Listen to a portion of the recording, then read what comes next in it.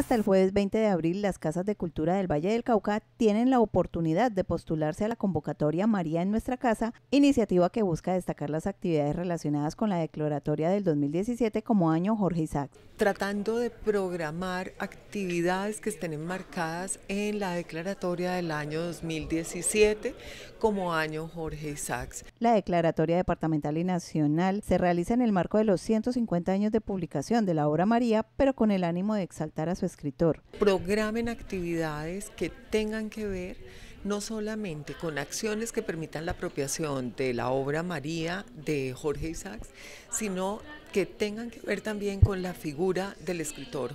La Casa de la Cultura ganadora recibirá 20 millones de pesos para confinanciar las actividades. El segundo lugar recibirá 10 millones y 5 millones el tercer lugar. El 15 de mayo se conocerá a los ganadores de la convocatoria.